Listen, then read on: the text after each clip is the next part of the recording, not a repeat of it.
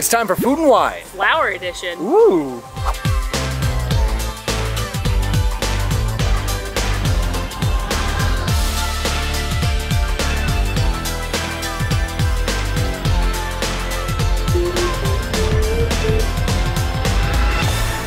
Hey there, Mam Fam. We are here at Epcot today to kick off the Flower and Garden Festival. We will be here over the next few days checking out everything this festival has to offer from the beautiful topiaries and gardens to eating our way around all of the outdoor kitchens. This is my favorite festival of the year. I'm so excited. Epcot is so gorgeous right now, so let's get into it. Come on. Welcome, welcome, welcome to Epcot and my favorite festival. Look at the beautiful new Wish topiary. This is one of the brand new topiaries for this year. We'll be checking them all out as we rock around the festival. They're one of my favorite things about Flower and Garden because I think they're so amazing. Like the horticulture team are geniuses. Like look at the succulents making up her dress. And then it's a hose for Star. Oh my gosh. This is so cute. All right, gotta grab our festival passport. These are a must have when you come to the Epcot festivals. It's gonna have all of the booths listed with all of the menus. Your Garden Graze, which is the food crawl this festival, is in the back absolute need when you come in here. It's on the app too, and there's an allergy guide on the app, but I like having the physical thing too. Flower and Garden runs this year from February 28th through May 27th, a little bit shorter than last year, which I actually appreciate. I like a little Diet Epcot mixed in throughout the year, but you still have a nice long time to come and enjoy this beautiful festival. As with every festival we do, we polled you, the Mam Fam, on what our budget should be, and you told us it was $100 per person or $200 in total. So we have grabbed our gift cards, each loaded with $100 each, and are set to set off to our first booths. Okay, I lied. I know I said we were going to go to our booths first, but we definitely got distracted by this beautiful figment topiary here in the center of the garden. Oh my goodness. He looks so cute. Now, normally the Figment topiary is over in front of Imagination, but I love that since they opened up the gardens here, they've got him with the flowers and Spaceship Earth right behind him. Stunning. I also, this is a tiny detail, but I love these like picks that go into the garden with Spike the Bee on them. Um, I am a terrible gardener. I cannot keep anything alive, but my mother is a wonderful gardener. And I have a lot of memories of childhood of going to nurseries with her and her telling me what to look for on those picks. Like this is the flower we're looking for. So I don't know, I just feel weirdly nostalgic looking at those. Headed to our first booth and to check out a few more topiaries, but wanted to mention that when we picked up our gift cards, we checked out Spike's Pollination Nation, which is the scavenger hunt for this festival.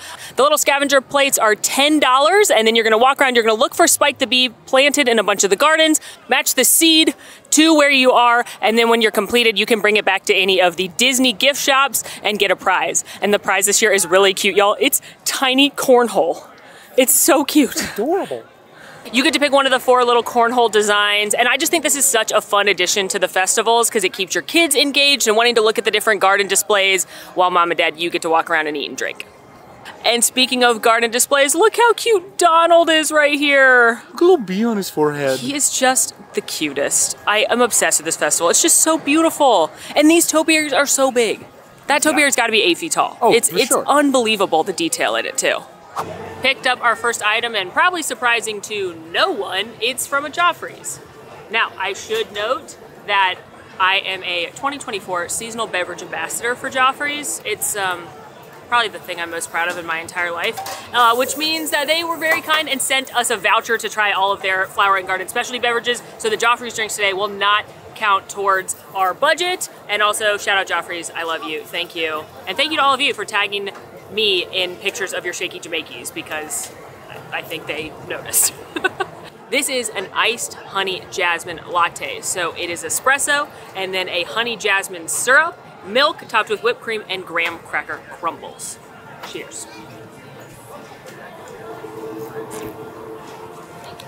Mm.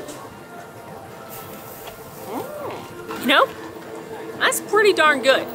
If I were to get this again, I would not put whipped cream on it because I'm not a whipped cream girly, but the coffee drink itself is actually not too sweet, and I think that's because it's honey jasmine, so it's not like an artificial fruity flavor, it's just a little bit of light sweetness. I go a little bit lighter on the milk too because I'm a black coffee drinker, but overall, this is a very delicious, very sippable iced latte, a little bit unique. I like that. Coffee in hand, we are now going to swing by and look at one of the newest topiaries, Groot! Look at him! He's growing up out of the ground with the different bushes and holding the Greenhouse Mix Volume 1. A very kind cast member told us that he plays music every 20 minutes on the 20, starting at the top of the hour. So like the o'clock, the 20, the 40, etc. That's so cool. He's adorable. What an awesome topiary edition. Yeah, well done, Disney.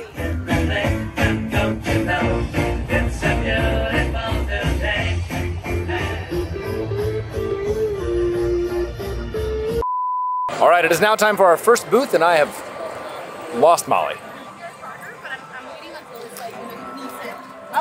Hey. It's my favorite topiary. Yeah, but our first booth is Brunch Cot. The only thing that could lure me from Buzz is brunch. Yes. We'll make it to BrunchCot eventually. There's just so much to look at. This is one of my favorite gardens around the festival. So in addition to the giant topiaries, they also have these smaller gardens with designated kinds of plants. And this is the prehistoric gardens, if you couldn't tell by the dinosaurs in here. I'm literally obsessed with these metal dinosaurs. I wish I could find them to put them in my home. Um, and these are all plants that would have been around in the age of the dinosaurs. There's also spice gardens in Morocco and Italy. There's orchids in Mexico. There's a gnome garden. So just cute little displays to uh, tickle your eyeballs as you're enjoying the festival. Saw some adorable topiaries of Huey, Dewey, and Louie, but we have finally made it to our first stop, well, the first food stop, and that is Brunch Cot, where we have picked up two returning favorites, the avocado toast and the fried cinnamon roll bites. First up, the avocado toast. It's got marinated tomatoes, plant-based cheese crumbles on toasted ciabatta. Now, this is also our first dish on the Garden Graze. The Garden Graze is the foodie crawl at this festival, and it's all plant-based items. So, the way these food crawls work are there are a number of participating items. Anytime you pick up one of these items, ask the cast members and they will put a stamp in your book. Once you have five stamps, you can return and get a free prize, which is more food, because again, you get rewarded for eating with more eating. Now, you don't have to get five different things, you don't have to do it all on the same day. You could get five of the exact same thing anytime throughout the festival to redeem it, but I always love doing these little foodie crawls because it's a good way to try new things that you might not otherwise, and I'm especially excited because this is always one of my favorites at the festival. You got this. I am a basic millennial who loves brunch and especially loves avocado toast, and this is delightful. There's a ton of that kind of still chunky avocado down on the bottom. It's spiced really well. You've got the ciabatta that's holding up to it, and I love these fresh tomatoes on top that are adding some brightness and acidity. Now, the only thing I probably wouldn't like about this dish is the plant-based cheese, and that's just because I don't care for plant-based cheese. Cheese is my favorite food. I can tell it's plant-based. I've never met a plant-based cheese that tastes like cheese and this is no different however there's not a ton of it on here so I think it's supposed to be replicating like a goat cheese if anything it just adds a little bit of salt to the dish a little bit of nuttiness to it but I could take it or leave it in this case. Uh, overall though, if you're a plant-based eater or even just a lover of brunch, this is a nice, refreshing bite. And I am trying the fried cinnamon roll bites with cream cheese frosting and some candied bacon. I remember this being delectable last year, so I've got my I've got some high hopes. I'm, I'm ready to catch whatever contents come out of this. Go. Oh wow. Oh my. I don't think it's actually over sugared, which is pretty rare for me. Crispy exterior, buttery, light interior that leads to just some incredible filling there. It tastes lightly caramelly, some lightness from the cream cheese. Yeah, this makes the list. I may need to check last year's footage. I think it used to be full of the cream cheese filling. And so now It's a cinnamon roll filling. it's a cinnamon roll filling. and my It's goodness. plussed its game up. Love that. Oh my gosh. There's just enough there's so much cinnamon. Not an over not a not a crazy amount, but there's so much cinnamon that it offsets any of the sugar that's inside that filling. I know it's there, but I don't mind. Whoa. So good. Popped across the way to Farmer's Feast where they have moved the legendary corn on the cob. So if you're a corn on the cob fan like I am, this is where you need to come this year. But besides the corn on the cob, what is so cool about the menu at this booth in particular is it changes as the seasons throughout the festival change. So you're gonna have a different menu right now than you are in about a month and then another one to close out the festival. So it's one you can return to time and time again. For our trip today, of course, we got that corn on the cob, which is another stamp on the Garden Graze. Amazing. And then we also got the strawberry rhubarb upside down cake. All right, I am going to try the grilled street corn on the cob with savory garlic spread and plant-based cheese. Let's get into it. Whoa, that's a lot of garlic. Does it have the juice?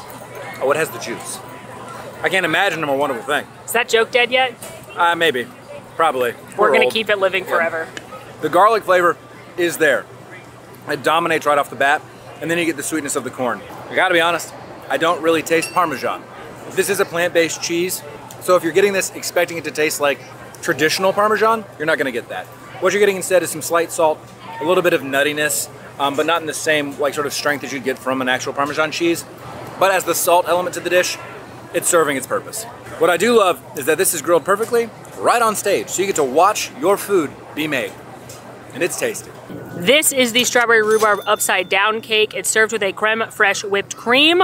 I am so excited to try this. I love strawberries, and I don't think I've had rhubarb. I might have had rhubarb, but I do love cake.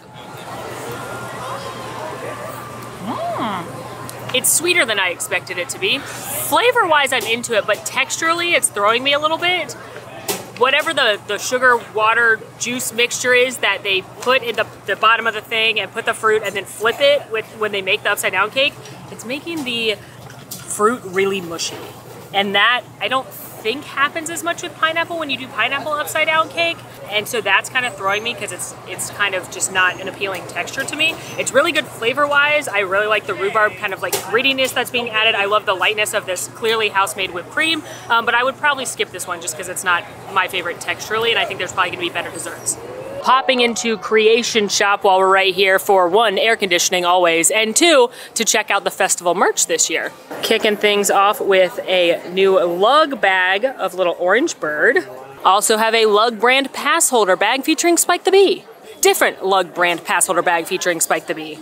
Pass holder Spike the Bee shirt. Orange Bird Loungefly. Orange Bird Spirit Jersey. Orange Bird Flower Pot. Orange Bird Ornament. Orange Bird Salt and Pepper Shaker. General Epcot Salt and Pepper Shaker. Orange Bird Juice Container. Orange Bird Tervis. Orange You Glad You Met Me shirt. oh, Orange Bird. Orange Bird Ears. Orange Bird Mug. And I think this is a juicer on top, so you're supposed to like juice your own orange juice into the Orange Bird. Orange Bird Button Up. Trying to figure out what the next Orange Bird thing is. Orange Bird Lantern. It's solar powered. Orange Bird Apron. Orange Bird Hat. Different Orange Bird t-shirt. Orange Bird Magic Band. An orange plush that transforms into an orange bird. Moving on to like a general Epcot mini style collection, we've got a flower pot, a garden marker. There's that trash can salt and pepper shaker again. You could have mini trash can table time. mini because like Minnie Mouse, but also because, okay. Keychain, pink t-shirt, garden hat, mug, fresh flower bag, a different style of garden marker, mini spirit jersey. We've also got a Coco inspired collection this year. Loving this. We've got a bucket hat. I wish I could pull off a bucket hat. Too old. Blue t-shirt, pink t-shirt, Coco Tervis, Coco blanket, Coco little bag. Do you put a do you put a pot in that? It's just like a little bag. I think you put a pot in it. That's my guess. Someone that knows how to garden, let me know. Coco plate. And what would a merch drop be without pins? Let's take a look. You've got Orange Bird, big, uh, big Orange Bird, Butterfly Topiary, in a Mickey shape pin. These are cute. Look, they're different topiaries. You've got Sorcerer Mickey, Beauty and the Beast, Alice and Mad Hatter, Mystery Pin, Mini Pin, Pass Holder Spike the Bee Pin, different Pass Holder Spike the Bee Pin, Orange Bird Apple Watch Band, Spike the Bee Apple Watch Band, Butterfly Apple Watch Band, Coco Apple Watch Band. And for magnets, we've got butterflies, different butterflies, Coco and Orange Bird. And I think that's it. Whew, what a haul, what a haul. All right, as we make our way into the World Showcase, we've got another beautiful topiary. We've got Mickey, Minnie, and Pluto on a picnic, joined by the pranksters Chip and Dale, who are, well, they're helping themselves to all of the delicious feast that Mickey and Minnie have brought. And Mickey brought flowers. Oh, we love love. How stunning is this Encanto topiary? This was the entrance topiary last year. I love it so much. It's so beautiful. And then if you look at all the details, like look at Mirabel's skirt with all of the little uh, things she's sewn on there. And then you've got the different color tones within all the different dresses. And you've got Antonio. I love the succulents on Isabela's dress. Alan, let's do something fun. Yeah. Okay, when I say go, walk, don't run because we don't run. We don't run. To whichever um, madrigals problems you associate with. Oh, which traumas we have? Which trauma do you have? Okay, yeah. Yeah, ready? Ready? Ready? Go. Oh.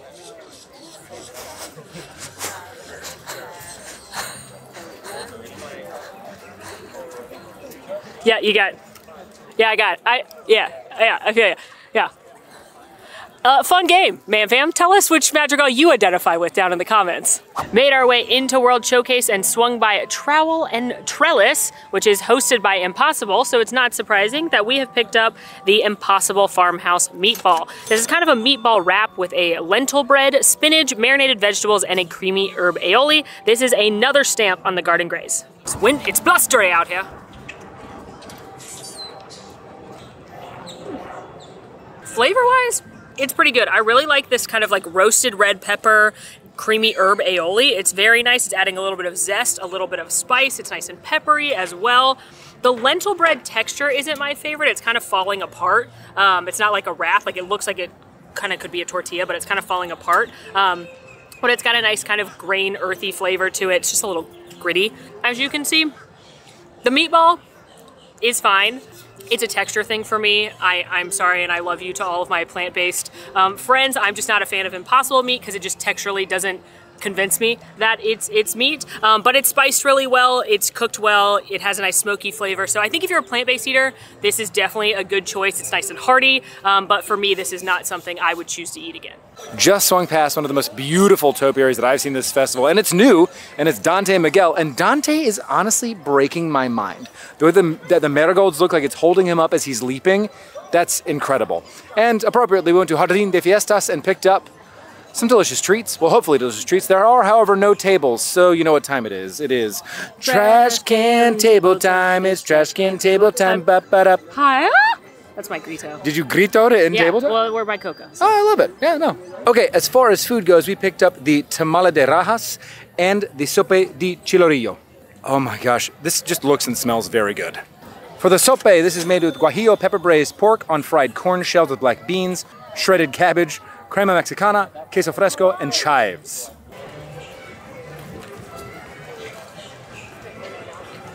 The first thing that I want to acknowledge is the absolute density of the masa and the corn on the bottom here, followed by the black beans. So it's very much layered. You have the uh, the masa, then you have black bean, and then this one you get the meat and your spicy sauce along with the cabbage.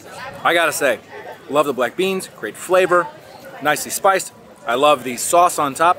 It is acidic and spicy, so if you are spice averse, you might want to skip this one or just ask for no spice on it, or no sauce on top. The meat itself, while it is flavored really nicely, is a touch dry. Um, so I think that's the only note I would give this, but altogether with the, the cheese sort of cutting through the spiciness of the sauce, I think it's a really complete dish. I just wish that the meat was moist and not dry. That's, but other than that, I enjoy it. And I'm digging into the tamale de rajas, which is made with poblano peppers, corn, and cheese in the masa with a poblano cream sauce, crema mexicana, pickled carrots, and onions with chives. Super excited to dig into this and excited that this is a vegetarian option in Mexico, which you don't always get in a savory dish. I'm so excited. I love tamales. Now, this one's like half the masa, so you don't have to unwrap it or anything. It's just this delicious looking mixture here. Gotta get some of the pickled uh, radish or onion. Mm-hmm, mm-hmm. That's best of the best. Oh my gosh. Oh, there's the poblano peppers coming in. Now, if you've never had a tamale, the texture is between grits and mashed potatoes because it is cornmeal that's like ground up and mixed with all the different things. And so it's not as creamy as mashed potatoes, but it's not as gritty as grits. That's the best way to describe it. But there's so much flavor in this. It's not really hot. You can taste the pepper, but it's not hot spicy. And then you've got the delicious queso fresco. I love the acidic bite from the pickled onions. Best of the fest. Nailed it, Mexico. Working our way into the Odyssey building now. This is where the Citrus Blossom booth is located, which is themed to that cutie little orange bird.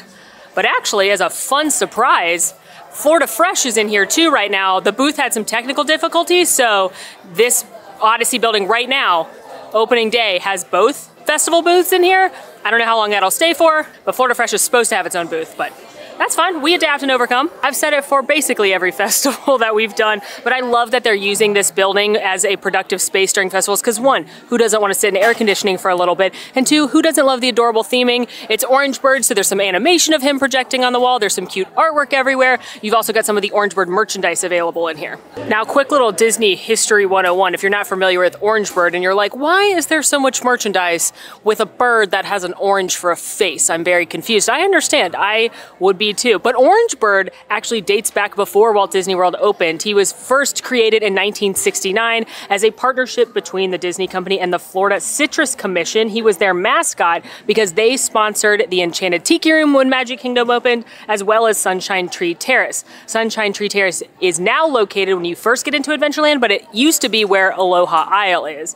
And in fact, the Citrus Swirl, which is the frozen orange juice and vanilla soft serve swirl, that actually existed in Disney World before the Dole Whip. So Orangebird is an OG, and honestly, I really wish they would bring him back as a character meet and greet.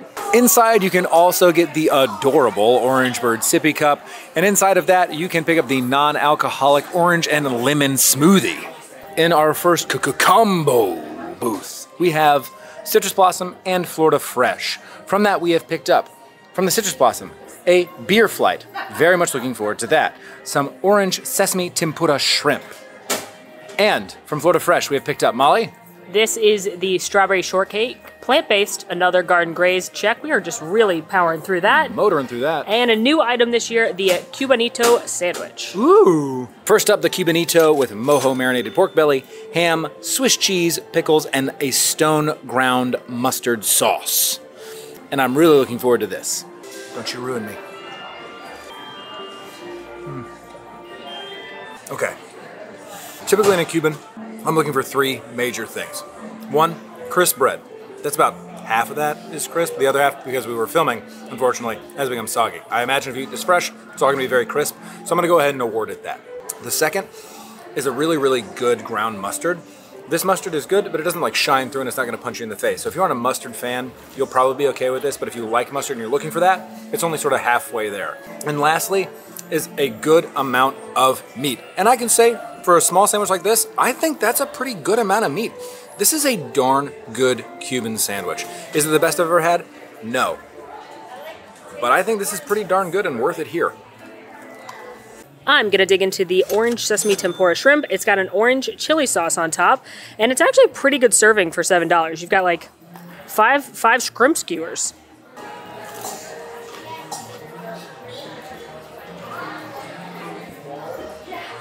Okay. Woo. I am delightfully surprised by this. Alan's making a face behind the camera with the same face. The tempura is actually very light. I love tempura shrimp. This is how I learned to like seafood was tempura shrimp. Uh, it also the sauce is definitely sweet because it's orange, but it came out of nowhere with a little punch, a little bit of heat. If you're super heated verse, uh, skip it. It's not too hot though, but it's definitely hotter than I expected it to be. Again, I think you get a good portion size. I think this is a a fun twist on a very classic and beloved food. This is this is nice. This is a sleeper hit. And rounding out our eats here before we get to our drinks is the Florida Strawberry Shortcake. Now, last year this was not plant based. This year it is. I enjoyed it last year. I'm hoping I'm going to enjoy it the same amount this year. You know, there's no point in going for a dainty bite. Here, got everything strawberry, whipped cream, I assume, or whipped cream substitute, and shortcake. Okay, are there things that I would do to make it better? Yes, but is this solid? 100%. The whipped cream itself still tastes like whipped cream. Strawberries have been macerated in a sugar um, or a sugar-like syrup for a bit, so they are very, very flavorful, but also not super sweet. The one sort of downfall is that the cake is a little bit grainy and it's not super moist. I think soaking that in the same like juice that the strawberries have been macerated in might change that because at the top where it has happened, where it started to soak in, is like a plus cake at that at that point. But it's a really solid dessert, and I think it hasn't really had much fall off from last year when it wasn't plant based. And now it's time for Molly and Alan's beer review corner. Let's see. Looking at this beer flight from Citrus Blossom, they are all citrusy beers. You have a Southern Tier Brewing Company Orange Twist Imperial Ale, a Left Hand Brewing Lemon Drop Shandy from Longmont, Colorado. The first one's from New York, by the way. And a Stone Brewing Tangerine Express Hazy IPA from California. Which one do you want to start with? Yeah, I'm gonna start with the IPA. You want the IPA? Yeah, I, I could have guessed that. I would like the Lemon Drop Shandy. It's like drawing the sword from the stone. To I me, win. Excalibur. I All right, win. here we are. Cheers. Cheers.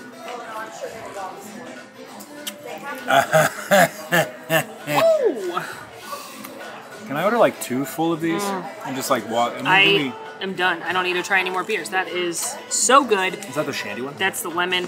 Um, it tastes like Leinenkugel's lemon shandy, but a little bit more beer flavor. Um, that one is a little bit sweeter. It is so refreshing. It is so crisp. It is gonna be so perfect walking around hot Epcot with a full size one of those at some point. Shandy, I mean, it's called that way because it's almost like a lemonade style, Ooh, that's good too. right?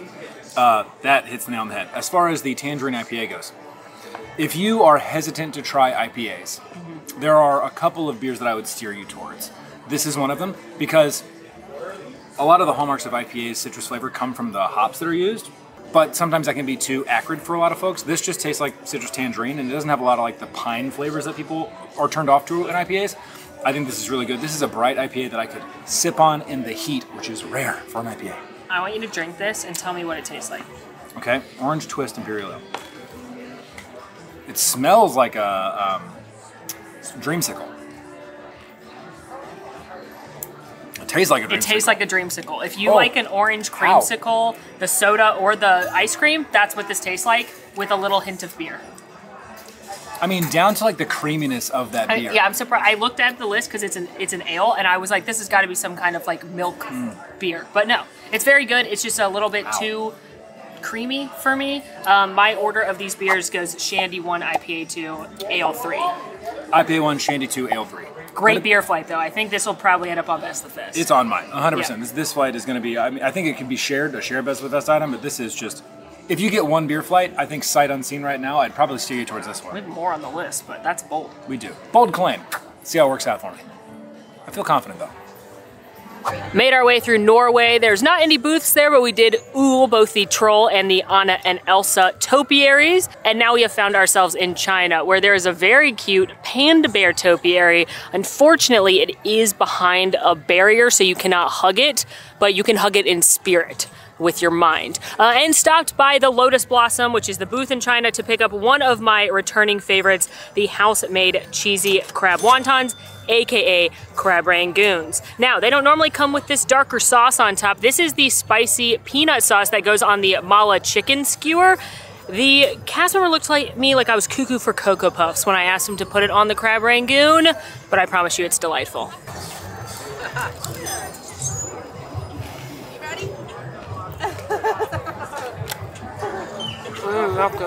Mm, it's like the best crab rangoon I've ever had because they are made fresh, and it's crab with a C, not crab with a K. Not that I'm biased against crab with a K. I often order Chinese delivery just to order like six orders of crab rangoon. Alan is nodding his head behind the camera. So you've got that nice crab mixed with cream cheese, fresh, warm wontons, nicely flake and crispy. And if it's not too busy, you can ask nicely for them to put the spicy peanut sauce on it if you want to try this hack.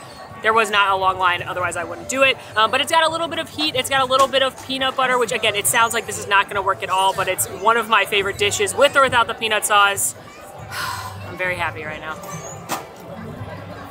Just swung by Refreshment Outpost and picked up the seasonal fruit parfait, which is our final item on the Garden Graze.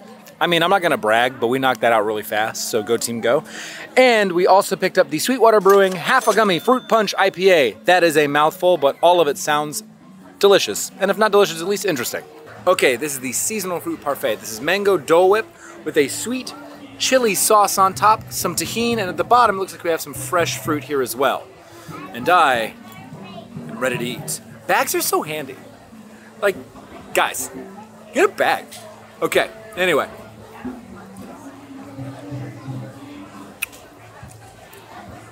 Huh. I think I really, really like that. Oh, and then the chili comes through. Okay, now the mango Dole Whip is nice, subtly sweet, good mango flavor. But what I'm really loving is the sweet chili sauce with the tahini. It almost starts out sort of sweet and sour, and then you get the tahini hit. If you're spice averse, you don't like spicy food at all, don't try this. There is some heat to it, but I think it's really welcome. It's a really nice sweet heat combo. Now we're gonna dig down, try to get our fruit out here. Looking like some pineapple and mango. Mango, just mango, I can confirm. There's something red. Where's the red? watermelon? That one. Oh, hold on. It's watermelon, but it's soaked up. Oh, it's soaked up the chili sauce. Whew. I mean, I like this. Refreshing and spicy. I'm a big fan. And I am gonna try this beer, which I'm very excited about because Sweetwater Brewing is from Atlanta, which is where I'm from, and I've been to this brewery before, and I'm a big fan of their beers. So, but I've not tried this one.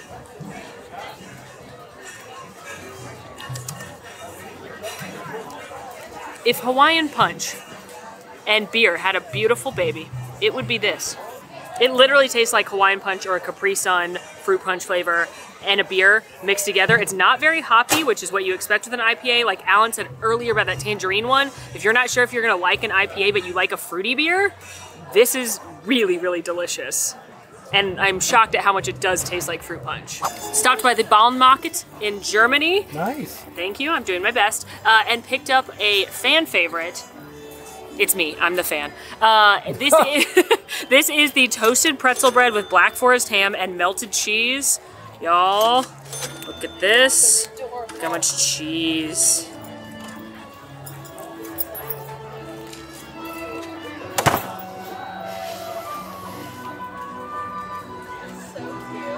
It's so good. You have a warm pretzel roll and it's been split into four. It's been quartered up at the top so you can kind of pull it apart. And then you've got that kind of salty but a little sweet of the Black Forest ham. And then you've got this melty, nutty cheese on top. It kind of a little bit in the hopest hope of my dreams reminds me of the amazing pretzel bread pull apart in Disneyland. This is like the closest Disney World's ever gotten. Um, but it is melty, it is ooey, it is gooey. Fan favorite, no notes, five stars. Germany is home to IMO, one of the best topiaries at the festival. You've got Snow White and all seven dwarves. I think they are so darn cute. And in honor of their presence, Alan, last year we went and posed like our favorite dwarf. Uh huh. This year I think we should go pose like the dwarf we feel right now. Okay. The one we that matches our emotions. All right, you're up first. Oh, happy. It's my favorite festival, so I'm happy. Great. Feeling Doc. That's an emotion. Put your satchel. Satchel. It's Molly from the future here from the daytime tomorrow, and I just gotta say, I love Snow White and the Seven Dwarfs topiary, but look at these gnomes that are outside the bathrooms. They are so cute, I wanna cry a little bit. Is that dramatic? Well, we had to stop by and see the train, where of course they've got the awesome banners for every festival, so this time is no different. And we are now moving through Italy, where we are skipping the Italy booth because I've got to be honest, I'm not ready to be hurt again. I've not made it past the previous engagements, but hopefully one day soon. We'll get there. But you know we're not skipping? We are not skipping seeing the Lady in the Tramp topiaries. And I love these topiaries so much because ladies' ears continue to grow as the festival continues and they just become longer and more bushy. And it's so cute. But we are headed into the American Adventure where we get some more treats.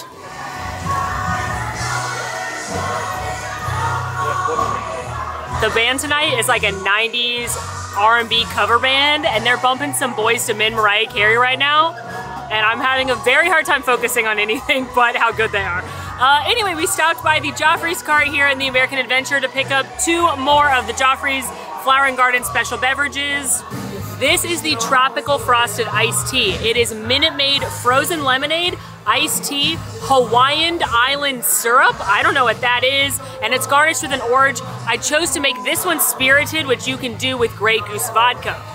This one is an annual pass holder exclusive. You can get it at any of the World Showcase Joffrey's carts. It is a BPL, which is a blueberry pie latte. I came up with that joke all on my own. Alan did not say that first.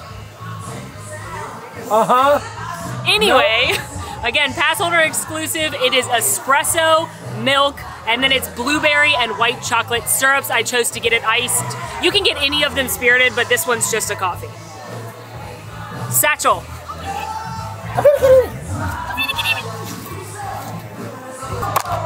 Third time's a charm. There it is.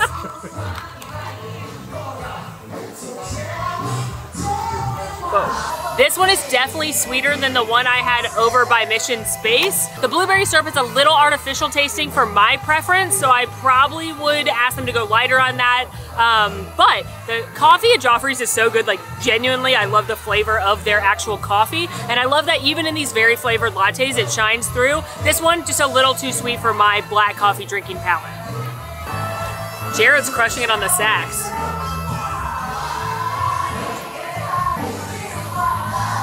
Okay. If an Arnold Palmer and Hawaiian Punch had a beautiful baby, it would be this plus vodka. It's not super duper sweet. It mostly tastes like the lemonade and iced tea, which again is an Arnold Palmer. The syrup isn't really shining through. You can definitely taste that there's vodka. It's light, it's refreshing. Yes. Y'all, this band is crushing the game right now, and what better time to talk about the Garden Rocks concert series. So much like at Food and Wine with the E to the B concert series, a variety of musicians comes in to play free concerts here during Flower and Garden. They typically play three times a night, and there are artists ranging from a variety of cover bands to popular 90s hits like Sister Hazel. You got the Plain White T's coming, country fans, Jo Dee Messina's on her way. This is a really fun way to add in some entertainment and just enjoy yourself while you're at the festival. Now, if there's an artist you're super duper excited about seeing, you can get in line really early, but there's also dining packages. You can book dining packages in advance to get reserved seating for the shows at restaurants like Spice Road Table, Le Cellier, Coral Reef, and the Beer Garden, or there is a walk up only first come first serve dining package that's a little bit less expensive at Regal Eagle Barbecue. So if there's a band you're dying to see, I definitely recommend looking into one of those. But I love live music. I love that they do this and I love that they've expanded the live entertainment and the concerts from just Eat to the Beat. Swung by Magnolia Terrace, but not before stopping and looking at the absolutely stunning Tiana topiary. All those twinkling lights in the background, it really does give it a magical feel. But you know what else looks magical?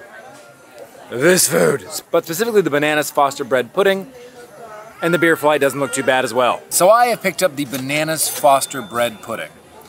All of those words I love, so I can't wait to enjoy this. So let's get a little bit of banana, some of the bread pudding as well. This is a interesting serving of it. I'm used to a bread pudding a little bit more of like a casserole style, but that's just a sort of deep south thing. And now for me.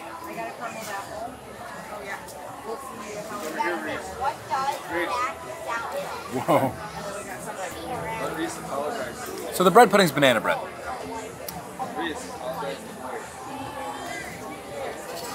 I love banana bread.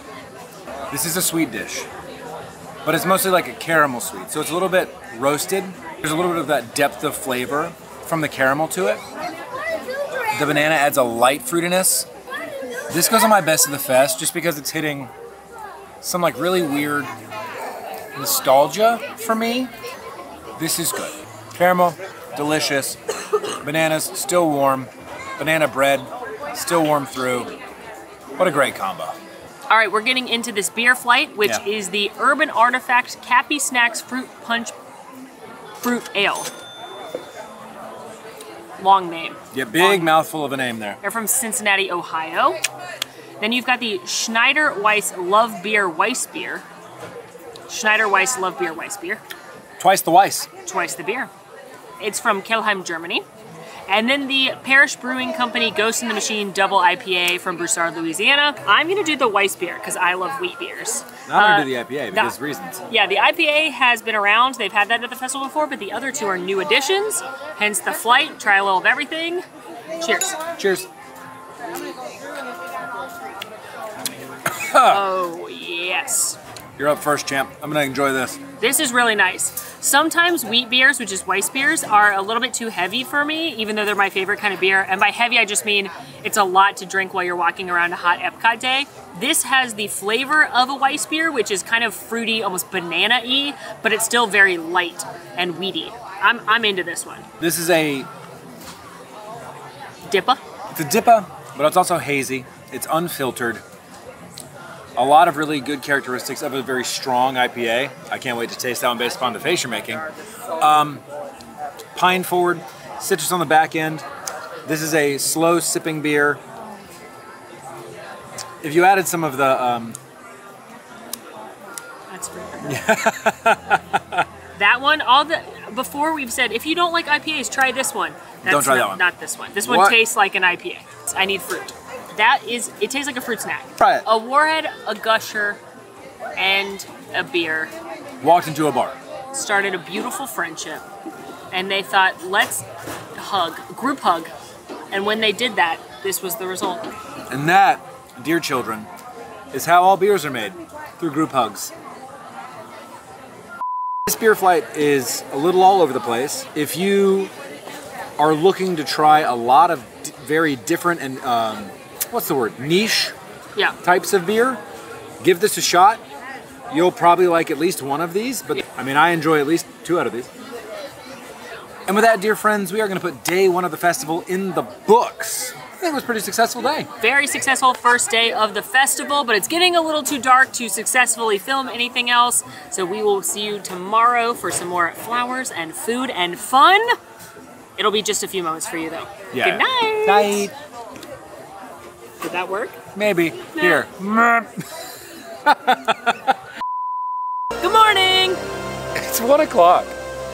When you're a degenerate, it's morning. Welcome back, Mam Fam, to day two of the Flower and Garden Festival. We are back at Epcot today to check out the rest of the topiaries and the outdoor kitchen. So come on, let's go look at some plants. Let's go.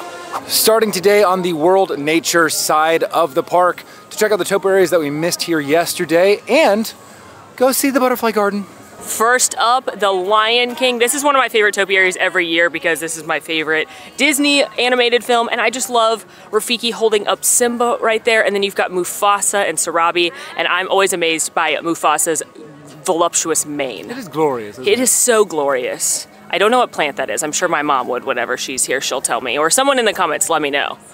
Actually, I'll just text her.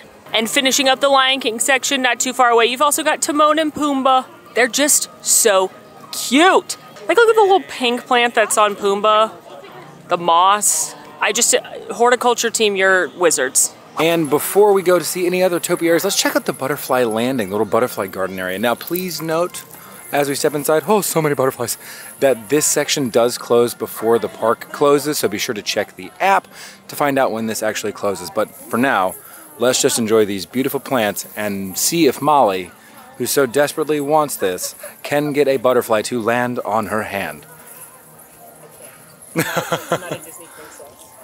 Butterfly landing is meant to educate you on the life cycle of a butterfly, starting when they are a caterpillar into when they enter a cocoon, like we see here, to when they finally emerge from said cocoon into the beautiful butterflies, the beautiful butterflies that they are. You will also find instructions on how to plant your own butterfly garden if you would like to do so, and al- along with a list of plants to plant if you would like to encourage caterpillars to come, their growth, and maturation into butterflies as well. It's just so absolutely incredible to see all of these different butterflies flying around the space. It's just such a nice, quiet area. It's really peaceful in here. I enjoy this a lot.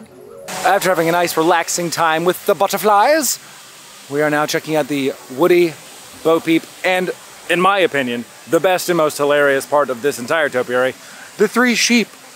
Look at them. Their names are Billy, Goat, and Gruff. Billy Goat Gruff. And they're connected as one, so they travel as a unit always. These are just so cool to see.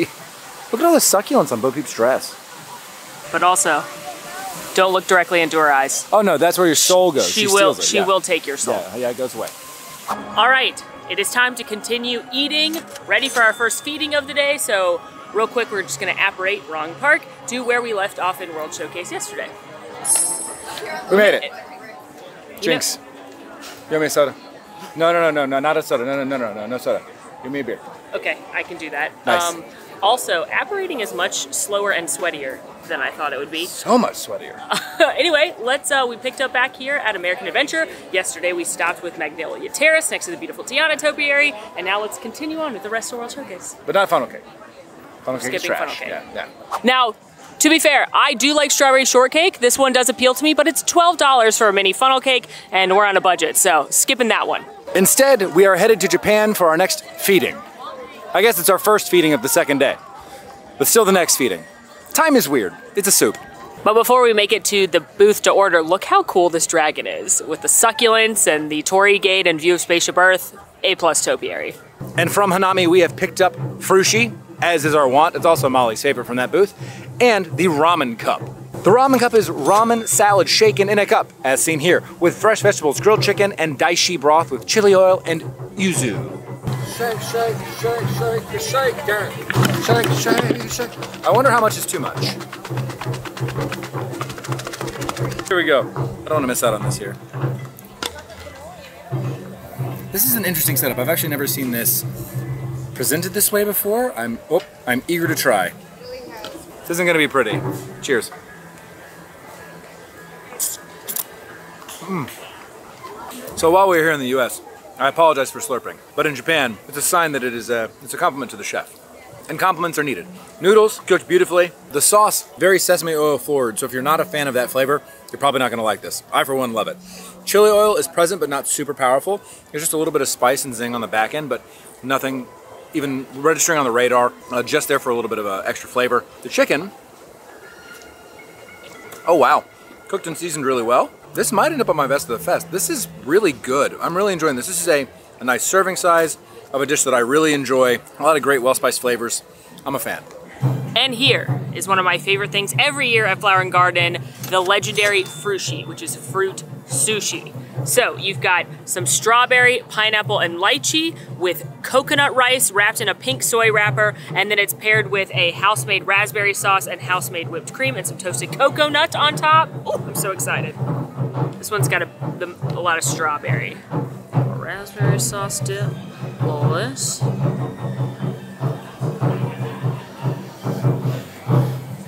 Mmm. That goes on my best of the fest every year because I just think it is such a perfect sweet treat because it's simple flavors, fresh fruit, toasted coconut, house-made whipped cream, and then you've got it in a very fun presentation. So I think it's just a perfect dish because it's cute and delicious and like I look forward to eating it every year.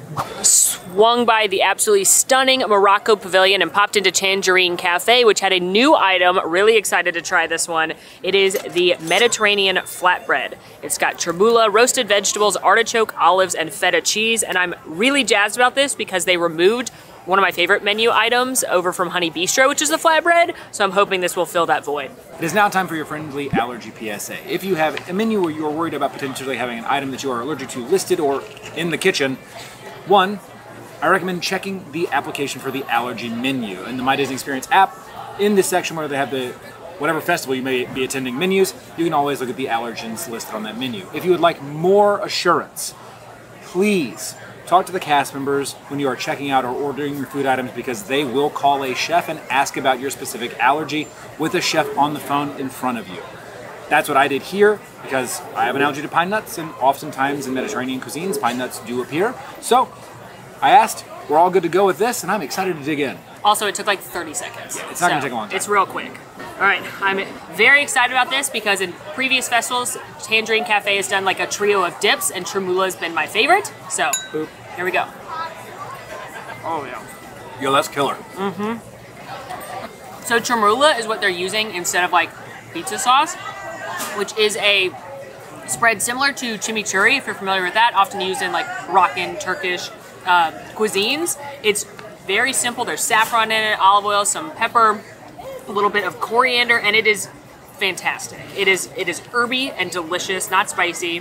This is a very bright dish, a little acidic. You can taste the saltiness from the black olives, which I've come to love.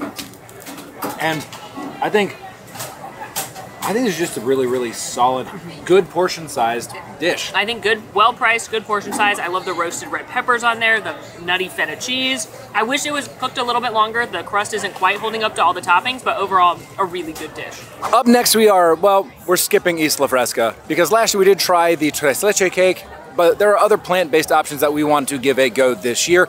But what we are not skipping, because it would truly be a crime, is seeing Kermit and Miss Piggy. Their topiaries are amazing. Bonjour! We have made it to France, where I waited in the longest line I've waited in yet, besides maybe Germany. Those have been the two most popular booths we've seen. And uh, speaking of popular, look at these adorable characters from one of Disney's most popular films, Beauty and the Beast. You've got Lumiere and Cogsworth right here, and Cogsworth actually like chimes, and at night Lumiere lights up. And then over yonder a little bit, you've also got Belle and the Beast. These are stunning topiaries, absolutely love them. And speaking of stunning, look at this croissant full of cheese. I've never seen anything more beautiful in my entire life. Also duck. Up first from Fleur de Lis is the Parmentier de Canard la L'Orange, which is pulled duck confit with an orange sauce and garlic rosemary mashed potatoes. And once again, I would like to apologize for my pronunciation of the French language. I'm trying, I promise. All right, we dive, we duck, we dodge. Here we go. Oh, wow. Okay, first of all, the first thing I want to point out is the rosemary mashed potatoes. Oh my gosh, are those delicious. The rosemary really does stand out there. The duck is deep and rich in flavor. It's a little gamey, the texture is a touch gritty, but it's very, very moist all the way through.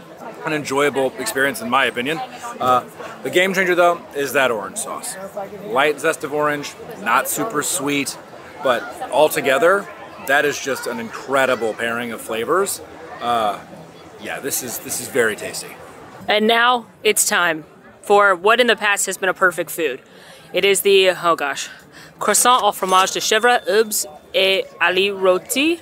I'm sorry, uh, but that translates to a croissant with goat cheese, herbs, and roasted garlic, which I'm very excited about and not sorry about.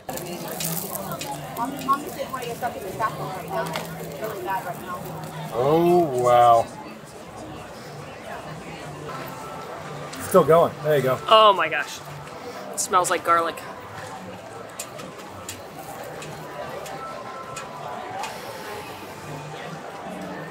I might cry. Huh. Be still, my cheese and carb loving heart. Oh my gosh. Imagine, if you will, a warm, freshly made croissant, buttery, flaky, delicious. Shoved right in there, a creamy mixture of goat cheese and roasted garlic, and it punches you in the face with garlic, which I love. This is not only on my best of the fest, this is my best of the fest. I could eat 100 of these. And if you too love cheese and bread, you need to try this.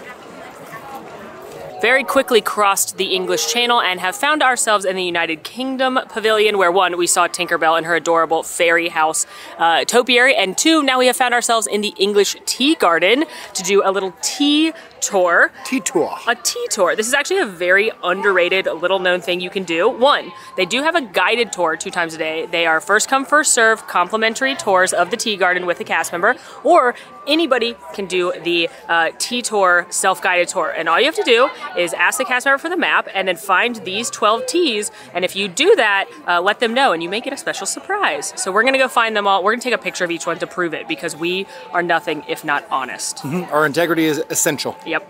We completed the tea tour. She stamped our map to prove that we did it, and we each got a tea. Tea, What flavor did you get? chai. Chai. I got uh, a pure rooibos red tea, herbal, herbal, as you might say. Well, rooibos. So that's exciting. It's a fun little activity that you can do and, and get some new tea to try. We've collected our tea and are now taking some time to just admire Winnie the Pooh, Rabbit, Tigger and Eeyore, these topiaries. Oh yeah, and Piglet too, that's correct. Piglet is freaking adorable. I mean, I love Eeyore. Just, I'm sad all the time. That's my guy right there, though. I love. Yeah. Oh, I just, these topiaries look so nice. I, uh, Eeyore's mane. Anytime they do the hair sort of situation or like mane, I, I just, I'm, my mind is blown.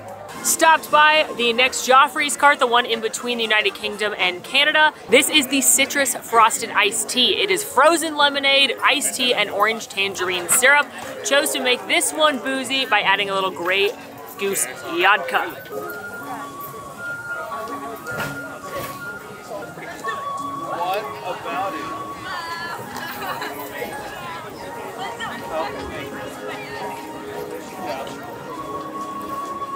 And it take me a roll of it. That is delightful. That's somehow even better than the last iced tea. I love that it's like an Arnold Palmer situation, but I am a big fan of citrus, so I love that little zest from the orange in there, which kind of reminds me of like the tangerine LaCroix, which is one of my favorite flavors. And then you've got the vodka in there, breaking up any sweetness that you might have. Very refreshing if you like an Arnold Palmer. This is delightful. Heading into Canada, but before we do, stop by to take a look at Captain Hook confronting his traumas, also known as TikTok Croc. You know, Peter Pan just being a little helper. He's just helping Captain Hook work through his past traumas. Yeah, what Peter Pan has done, you see, is he has said he, it's, it's just like a, a form of immersion therapy. He is bringing TikTok Croc to Captain Hook in order to try and help him overcome his fears. The fears that he created by cutting off Captain Hook's hand and feeding it to TikTok Croc. Uh huh. He's he was part of the problem. Now he's trying to be part of the solution. I see really stand-up guy, that eternal child. Our next stop was Northern Bloom, but not before admiring Bambi, Flower, and Thumper topiaries. They're so freaking cute. They're just little babies. We little babas. But what we picked up was the beef tenderloin tips with the mushroom bordelaise sauce, whipped potatoes, and garden vegetables.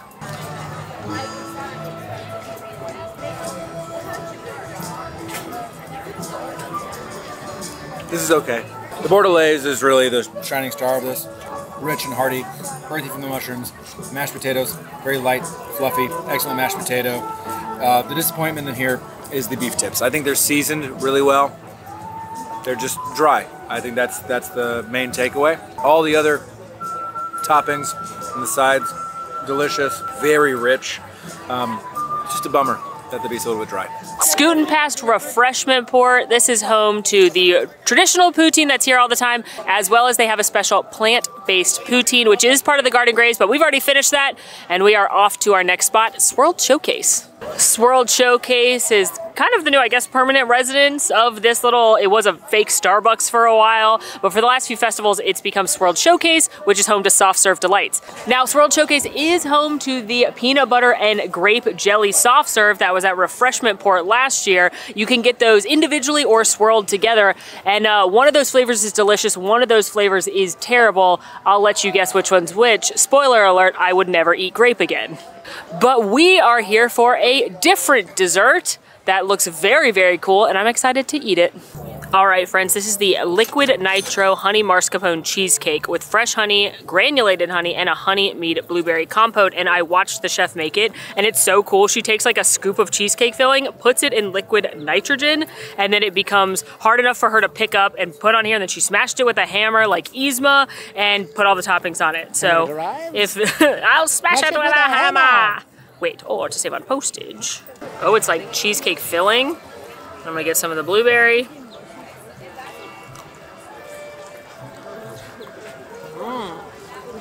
I'm amazed by this a little bit. It's like eating the middle part of cheesecake. So it's very light, it's a little tangy, and then you've got the fresh blueberries on there, a little bit of added sweetness from the honey. This is nice. I really like this because I love cheesecake. I think texturally it's gonna throw some people off because it's this kind of smooth texture, but then there's these like pockets of mascarpone in there. So if you don't like kind of creamy texture food, you probably won't enjoy this. Um, but if you want a nice, you very unique, shareable dessert that's not super, super sweet, this is lovely. Next up, we stopped by the Honey Bee-stro, a booth all about bees and the honey they produce. In fact, all the dishes here have honey in them, including what we picked up. The chicken and waffles. This is crispy chicken and a honey sweet cornbread waffle with whipped honey butter and spicy honey on top. It's a lot of honey. This is a sizable piece of chicken atop this waffle. A little cross section action there. I'm gonna get a little bit of a smaller bite.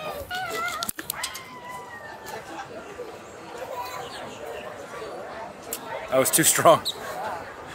I Thanos snapped my chicken away.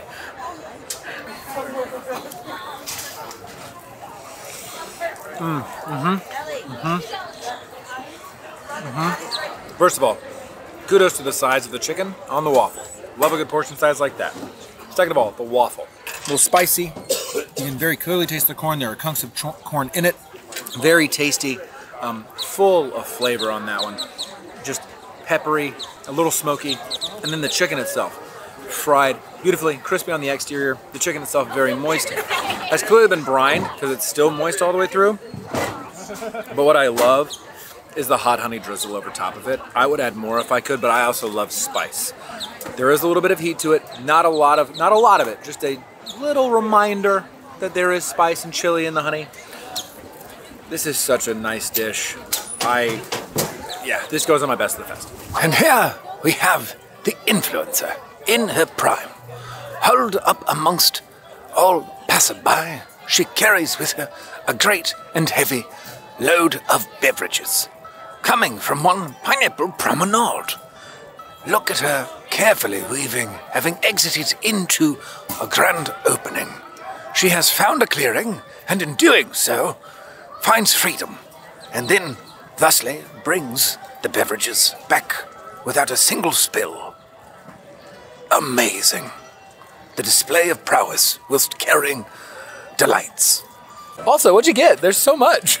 okay, well, the thing is, I wanted the beer flight because all the beers there looks good, but the violet lemonade ale is not part of the beer flight. Uh huh. And in my head, we were like almost to our budget, but not quite there. So I was like, this is either going to put us right under our. so we're like, let's blow limit, that budget out of the water. or we're going to be right over.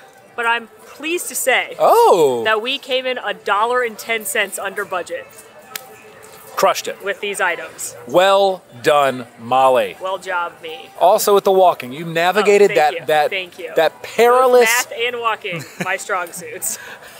From Pineapple Promenade, we have a plethora of beverages. Here's the aforementioned beer flight, which is a couple of tasty looking beers, but it did not include the Violet Lemonade Ale, which is a favorite of mine, inspired by my love of the frozen dessert Violet Lemonade, which is a flower and garden staple every year, a non alcoholic sweet treat. So here is our final uh, booth. Well, we have one more Joffrey's, but our final booth towards the budget. Also, all the flowers are from the uh, Living with the Land. A lot of the ingredients are. A lot of the herbs and things that go on the dishes at Flower and Garden are from the greenhouses, so you can go see them. But the, the flowers had a little sign, so I thought that was cool. It's just such a delicious treat. This is about the sweetest thing that I personally enjoy. Uh, but it's got a nice floral note because of the violet, and then it tastes like a frozen lemonade, so it's a little bit tart. It'd be delicious with vodka. Um, but it is it is so delicious. It's a flower and garden staple. It's so beautiful as well. Also, speaking of beautiful, before we stopped over there, we took a look at the giant flower bed that lines uh, the water as you walk towards World Showcase, and Goofy's over there blowing a dandelion, and it's very cute. Uh, but now I'm going to compare the non-alcoholic frozen to the beer. Oh my god. That beer is so good. It's very similar to the shandy that we had in Citrus Blossom, but it's got a little bit of floral notes as well. It's not quite as tart. That is a delightful, refreshing beer. And novel and fun too. What's different about this picture? If I stand, I'm off frame. I see. So, So, now you're like I'm a just- like a child. Yes. I'm gonna get you a booster seat. Um, gotta drink my beer. Give, I'll get you your bottle. Um, okay, which one do you want to try first? Uh, I'll try the hazy IPA. I will try the Tropical Hibiscus Blonde Ale. Lovely. Cheers. Cheers. Boop. Oh. Now this one is more beer-y than some of the other um, beers we've had that have had like a fruit or a floral note to it. You can definitely taste the hibiscus, but it mostly tastes like a blonde ale. If you have had the signature beer over at um, Volcano Bay at Universal, it reminds me of that, but less floral. I like it. As far as the pernicious IPA goes, that is a textbook hazy IPA. It's a wicked weed. Wicked, wicked, weed. You wicked, wicked man. Super pine forward, followed by a little bit of citrus flavor. I mean, incredibly hoppy. You definitely have the fruit though. Uh, It's more towards the back end on Yeah. that one. Pineapple or something. Citrusy. Pineapple, a little bit of grapefruit. That's kind of what I'm getting from this one.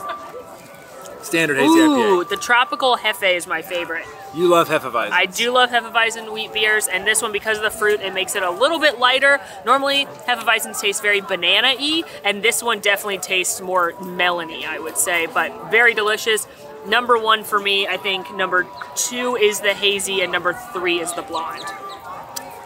I'm not getting the hibiscus in the blonde. Just a little floral. It's, Like it's, it's a it very, like, very back end. It's like a LaCroix flavoring amount. Yeah, a unicorn's eyelash Yeah. of flavor. Um, for me, it's going to be the Wicked Weed Hazy IPA, followed by the Hefe, and then ending with the blonde. A fun flight though. I don't think as good overall as the Citrus Blossom flight. That was my favorite flight we had That is in the whole festival. that is a top tier yeah, flight. I agree. And our final stop, the final Joffrey's for the iced berry chai latte. This is iced chai tea, blueberry syrup, milk, topped with whipped cream and cinnamon. Cheers. It's very sweet, and in its defense, it's described as a berry sweet blend, and it is berry sweet, which I do appreciate the pun, but it's no surprise that as a, a fan of not sweet drinks, this is not something I would pick up. I will say, even though the blueberry syrup flavor is very strong, you can still taste the chai tea and the spices from that. Um, I would prefer to get this without the blueberry syrup and just get the iced chai. So if you like sweet drinks, I think you'd enjoy this, but this just isn't for me. And we are headed for our final stop here at the Pineapple Promenade where we will pick up the reward for completing the Garden Graze. We've just picked up our redemption for completing the Garden Graze and it is lemon and mango Dole Whip. And we also got some wildflower mix. So if you complete this, you'll get some wildflowers to plant at home or to give to your mom, like I'm Molly gonna, is. I'm gonna give them to my mom, who, by the way, told me Mufasa's mane was probably made of coconut husks and that the sheep were probably made of spider plants, but she needs to check closer to be sure. You also get this very cute little cup, which is like hard plastic and reusable, so cute little prize. Ooh, that is so good. It's nice and tart. A little bit of extra sweetness from the mango, but mostly it tastes like limeade. Very, very delicious. I do like doing these crawls. Not only do I like getting a prize because I'm competitive, uh, but I like that it encourages you to try some food that maybe you wouldn't otherwise. If I'm being perfectly honest, the Garden Graze is not my favorite of the foodie crawls. That honor goes to, of course, the fromage montage at Food and Wine because it's cheese based. Um, and while I did like several things, most importantly the corn, uh, I probably wouldn't eat a lot of the items on the Garden Graze again just because they're not something I would normally pick. However, I love that they're encouraging folks to try different plant based items. And if you're a plant based eater or vegetarian, I think you're gonna love it. And as I always say, if you're already gonna buy several of these items, you might as well try the crawl out, get yourself a free prize, and, uh, and try something new. Maybe you'll find a favorite. And with that, we have eaten our way around World Showcase and all of the flower and garden booths. So without further ado, it's time for Alan and Molly's worst of the fest and best of the fest. Let's start with the worst slash probably wouldn't get again Sure. listings here. What's yours? I hate to say it. Yeah. I really do. Okay. It hurts my soul. I'm sorry. The beef tips from Canada. Oh, yeah. I uh, I'm just sort of disappointed Yeah. in them. Well, I not didn't mad, really- you're just disappointed. Yeah, I'm not mad. I'm just disappointed. I got to be honest. I didn't have anything during our trip through Flower and Garden that was really bad. Yeah. Uh, but there are a couple things that I would not get again, and that's at the top of the list. For me, it's got to be the grape soft serve. That's last year. It doesn't matter. It doesn't matter. It Wait a minute. It We're hurt- bringing in other years. I, I think it is easily the worst thing at this festival. It tastes like medicine, and I Oh. just really didn't like it. And nothing I ate this year, even it, so a full year, and you're not you've not recovered. I don't know if anything I've ever eaten at a festival compares to how much I didn't like that. Oh my God. So I think that. I think that's easily the worst thing at this festival. If you make me pick something from this year, it would be the strawberry rhubarb upside down Okay, cake. okay. Not because of flavor, but because of texture. But boy, I'm telling you that grape, You- really- that grape jelly soft serve hurt, it, it hurt me. Quick relocation because uh, Wind. the wind. I Wind. fear the wind. Yes, But with that, wind aside, block now. Do the corn maze here. maze. Yes, it's not a corn maze. The maze maze. You might as well have said corn corn. Anyway, behind the maze here, best of the fest time. For me, my best of the fest is as follows the Black Forest ham pretzel bread from Germany, the ramen bowl from Japan, the chicken and waffles from the Honey Bee-stro, the banana bread pudding found in America, and the citrus beer flight from the Citrus Blossom. Molly, what's yours? Now, mine is hard to narrow down because there are so many like long-standing favorites I have at this festival that I have Yeah. to get every year. Yeah. Um, so I tried to mix it up and add in some new things as well, but these are some of my favorites. I loved the tamale in Mexico. Of course, shout out to Crab Rangoon in China, Frushi in Japan, the herb cheese croissant in France. That's number one forever and always in my heart. The violet lemonade, both the ale and the slush from Pineapple Promenade. That feels like two things. I, that's fine. And I'm picking an extra one. Uh, shout out to the corn because I love the corn and the maize, if you will, from Farmer's Feast. Um, I also really liked that Black Forest ham thing. I also liked that fruit punch beer. I also really liked the duck. Like I don't think we ate anything really bad this year. I think the true. food is very good this it festival. It was very solid. The shrimp in the orange was a shrimp. sleeper that was like hit. That a was a sleeper surprise, hit. Like yeah. I really think either we picked really well or just the food's really good this year. And beyond the food, there's just so much to see and do here at the Flower and Garden Festival, including the topiaries. Ah, what, what was your favorite? Ooh, that's hard. Uh, you, want, you want to know mine? Yeah, I'm trying to decide. So I love Dante as a part of the Coco setup. that was one Just- I was thinking. It's just so cool with how the topiary itself, like the marigolds, are lifting him up. I Yeah, it broke my brain. That it's so one's simple. It's it's not like a larger grand topiary, but it is so So beautiful. It's beautiful. I mean, I guess I should say Buzz because he's my favorite character, but I really love Snow White and the Seven Dwarfs. I think uh. those ones are so beautiful. And also, how can you not love the new Baby Groot one? Also, the Lion King one. I, I love them all. This is my favorite time of year at Epcot. It's just so beautiful everywhere you look. There's flowers everywhere. Oh, the Lady and the Tramp one is really good. This Encanto one. Like, I just love them all. I just love being at Epcot this time of year because this already beautiful park is somehow even more beautiful and alive with so much color. I just love it this time of year. Asks for favorite topiary, gets all topiaries. Gets all of them, I except for that Bo Peep one. It's it's definitely not the Bo Peep one, It does stare into your soul. but I like the sheep. Another fun thing we've done at the festival is grab a couple magic shots with some of the PhotoPass photographers. They are really fun, so if you want to grab those, make sure you talk to PhotoPass. And the last thing we have to enjoy at this festival is the light show on Spaceship Earth. They do these light shows every couple minutes on Spaceship Earth where they do different lights and music, and they have a couple that they rotate through normally, but they add a special one in for the festivals, and it's Colors of the Wind during Flower and Garden. They also do Isabela's song, What Else Can I Do from Encanto, which is beautiful in front of Spaceship Earth, but it's even more beautiful if you stand in the gardens with the new light fixtures in the ground. Absolutely stunning. Make sure you watch that when you're here.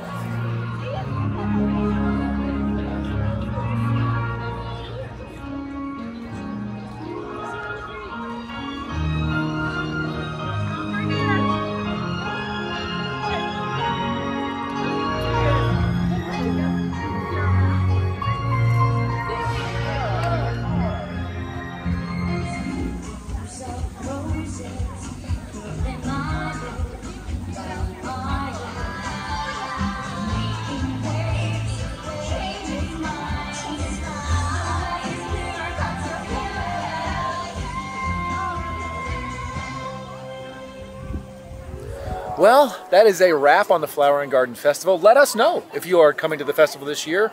But until next time, friends, be sure to like this video. Subscribe if you are new. Follow us on all of our socials. And if you want to join with the Mam Fam in the conversation about this or any of our other videos, join us on Discord. Links for all that down below. And until next time, friends, I'm Molly. And I'm Alan. And it has been Bluetiful. Bloomtiful. It has been uh, Bloomtiful. it has been a feastival. Oh. Yeah. It's been Unboomleavable. Unbloomleavable. Because it's like blooms. bloomazing. I think we're we should quit while we're ahead. Bloomtacular. Bloomtastic. Night.